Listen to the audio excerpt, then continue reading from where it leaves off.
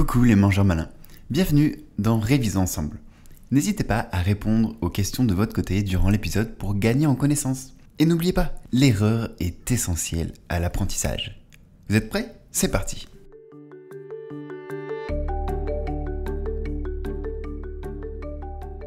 Faut-il procéder à une réplétion magnésienne avant la prise de tyrosine? Euh, Oui, c'est pas obligatoire, mais c'est beaucoup plus intéressant de procéder à une prise de, magnésium avant une prise de tyrosine. Euh, pourquoi? Parce que euh, le magnésium, lui, a tout un effet anti-stress. Si on veut prendre de la tyrosine, c'est souvent pour euh, potentialiser certains neurotransmetteurs.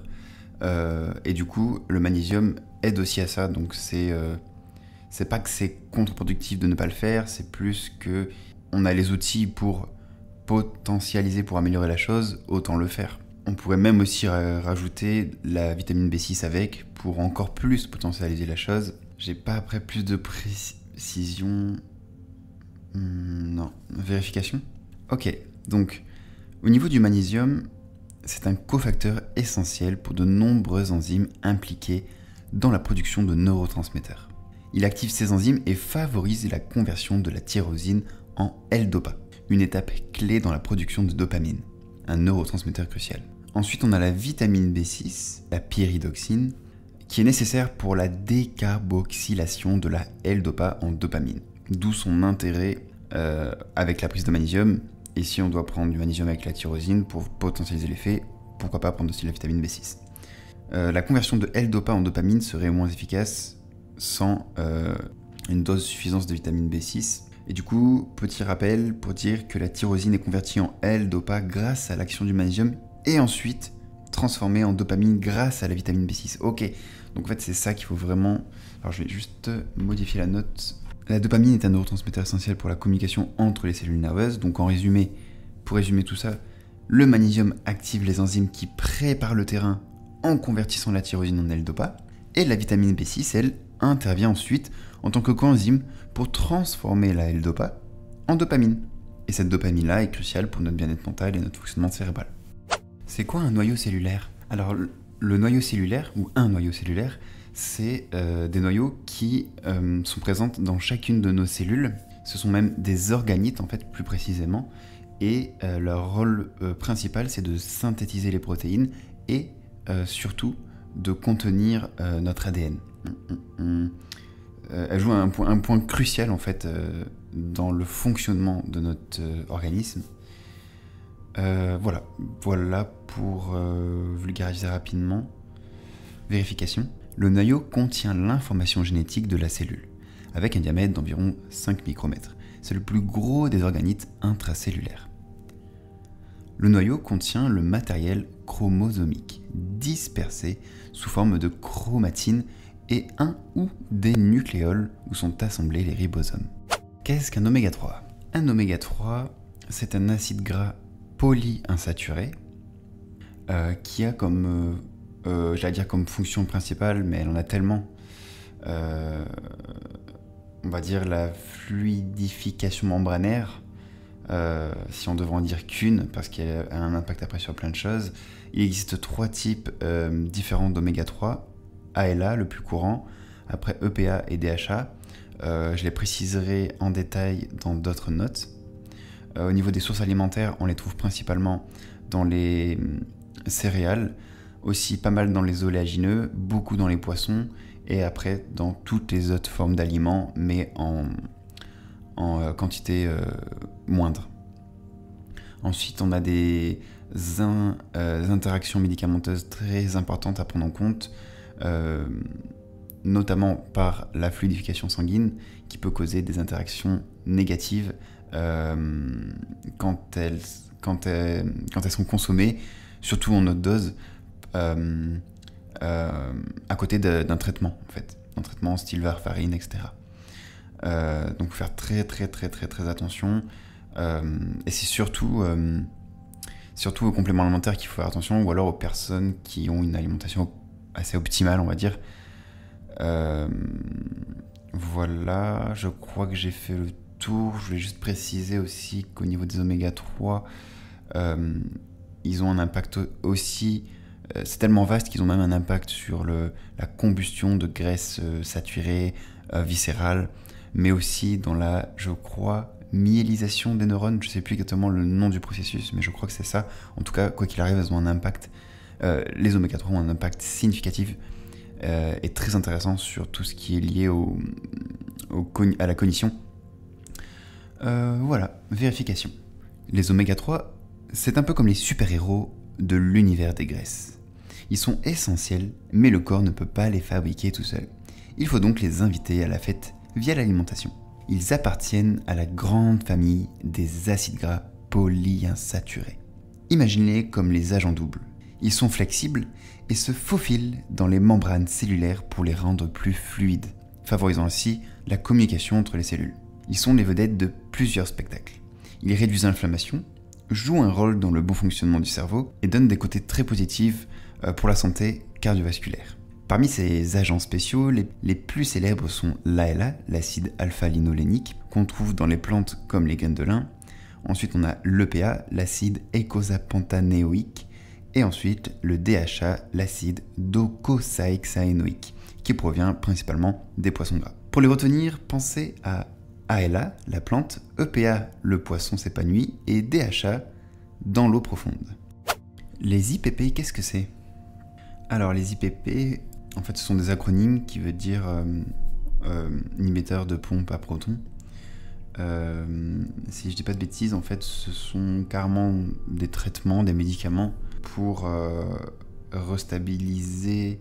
Ah non, je ne veux pas de bêtises, j'allais dire restabiliser l'acidité, mais en fait, je crois que justement, les IPP, c'est pour justement la pompe à protons, et qu'une conséquence des effets secondaires est la déstabilisation de l'acidité euh, dans l'estomac, ce qui cause après des soucis d'absorption. Je crois que c'est ça, hein. vérification. Les IPP, inhibiteurs de la pompe à protons, sont une classe de médicaments utilisés pour réduire la production d'acide dans l'estomac.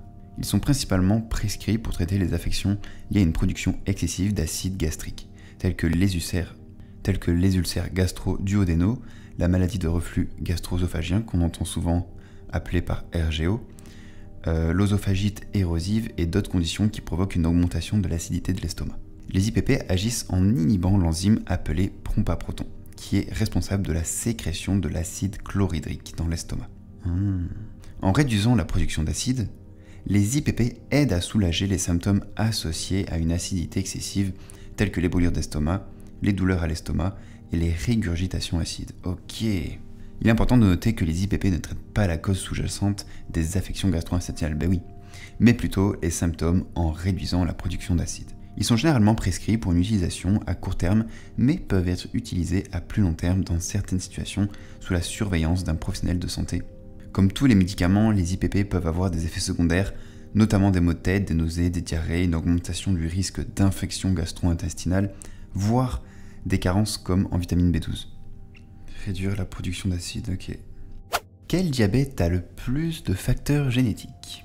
Alors, c'est le diabète de type 2, parce que je l'ai révisé il n'y a pas longtemps, mais pourquoi, je ne sais pas. Donc on va voir ça tout de suite ensemble. Vérification. Le diabète de type 2 est celui qui présente le plus de facteurs génétiques. Imaginez le diabète de type 2 comme une recette de famille pour un plat particulier. Tout comme une recette se transmet de génération en génération, la prédisposition au diabète de type 2 peut aussi être héritée. Si vos parents ou grands-parents ont eu le diabète de type 2, il y a de fortes chances que vous avez reçu la recette, entre guillemets, génétique qui augmente vos chances de développer cette condition. Petite parenthèse, ce n'est pas une fatalité. Le diabète de type 1, en revanche, est un peu comme un invité surprise à une fête. Il peut survenir sans antécédents familiaux clairs, bien qu'il y ait aussi une composante génétique. Mais contrairement au diabète de type 2, le diabète de type 1 est plus souvent le résultat d'un dysfonctionnement du système immunitaire qui attaque par erreur les cellules productrices d'insuline dans le pancréas. Donc en résumé, pour le diabète de type 2, pensez à une recette de famille qui se transmet, augmentant le risque de le développer, tandis que le diabète de type 1 est plus comme un événement imprévu, bien que la génétique joue aussi un rôle dans sa survenue, mais moindre comparé au diabète de type 2. Quel est le rôle de la vitamine K? Alors, petit euh, moyen mémotechnique et à la fois qui représente un petit peu l'histoire de la vitamine K, en fait celui qui a découvert euh, la vitamine K était un Allemand, et en allemand, euh, le mot coagulation commence par un K.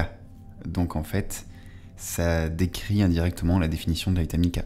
Enfin, sa définition majeure, son rôle majeur.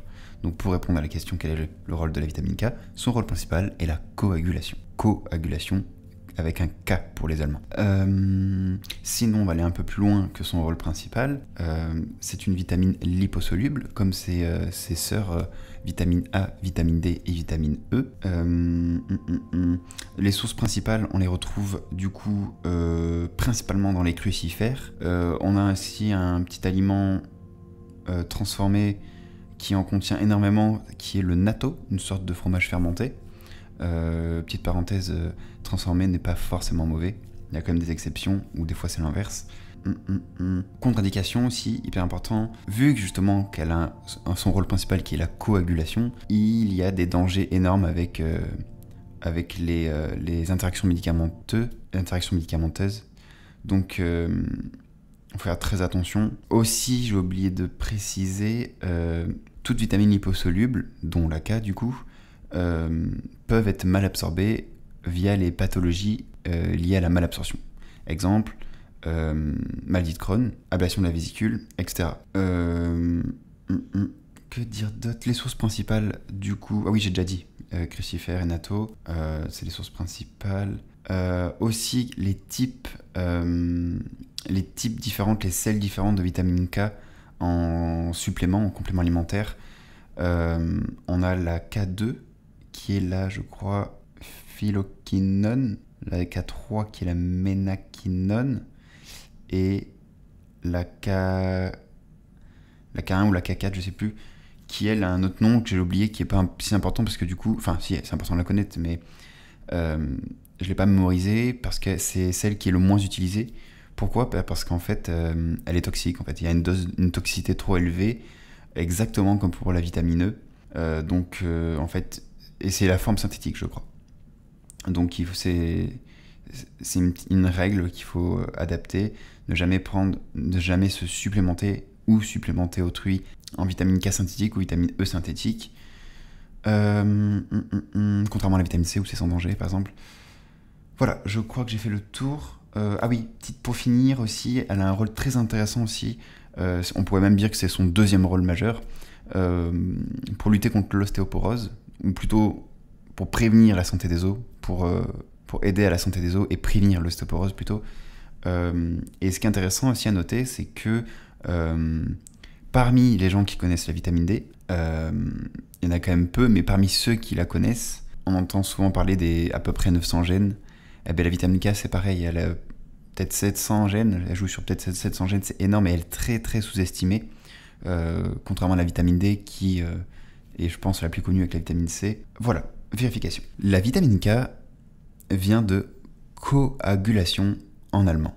Elle joue un rôle essentiel dans le corps, en particulier en ce qui concerne la coagulation du sang. Au niveau de ses rôles biologiques, la vitamine K est essentielle à la formation de plusieurs protéines nécessaires à la coagulation sanguine. Elle contribue également à la santé des os et des vaisseaux sanguins. Au niveau de ses sources, il existe euh, trois formes principales de vitamine K, la K1, la phylloquinone, ok, qui se trouve principalement dans les crucifères. Euh, on a la K2, la ménaquinone, ouais, ça, qui se trouve principalement dans les produits laitiers, fermentés et certaines viandes. Ah oui, il faut pas confondre ménaquinone et ménadione, parce que la K3 c'est la ménadione et c'est elle qui est interdite, euh, car trop dangereuse. Alors interdit, on va prendre avec des pincettes parce que ça dépend du pays, ça dépend de plein de choses. Donc à éviter fortement comme beaucoup de choses malheureusement. Les recommandations alimentaires, bah, du coup l'apport journalier recommandé pour les adultes est d'environ 120 microgrammes pour les hommes et 90 microgrammes pour les femmes.